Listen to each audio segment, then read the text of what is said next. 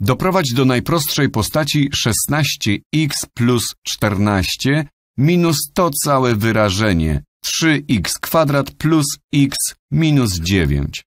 Przepiszę to i pozbędę się nawiasów, o ile to możliwe. A zatem mamy tutaj 16x, 16x plus 14 plus 14. Nie musimy dodawać tych nawiasów, bo i tak nie zmieniają nam kolejności wykonywania działań. Teraz możemy od tego odjąć, musimy pozmieniać znaki działań w nawiasie, ponieważ przed nawiasem stoi minus. A zatem zamiast plus 3x kwadrat, jeśli pomnożymy to przez minus 1, otrzymamy minus 3x kwadrat. To ten wyraz tutaj. Teraz mamy ten x tutaj. To wyraz ze znakiem dodatnim, ale musimy go pomnożyć przez minus 1, zatem otrzymujemy minus x. I na końcu mamy minus 9, ale mnożymy to przez minus 1, który mamy przed nawiasem, a minus razy minus daje nam plus.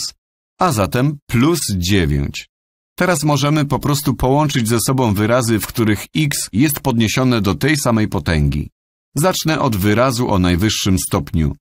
Wyraz o najwyższym stopniu jest tutaj. Najwyższy stopień oznacza x podniesione do najwyższej potęgi. Wyrazem o najwyższym stopniu jest tutaj minus 3x do kwadratu. To wyraz stopnia drugiego. x jest podniesione do potęgi drugiej. A zatem zapiszę tutaj minus 3x kwadrat. To jedyny taki wyraz w tym wielomianie. Później mamy wyraz z x. Mamy 16x minus x. Zatem jeśli macie 16 i odejmiecie od tego 1, to będziecie mieć 15x, czyli plus 15x. No i w końcu mamy wyrazy stałe.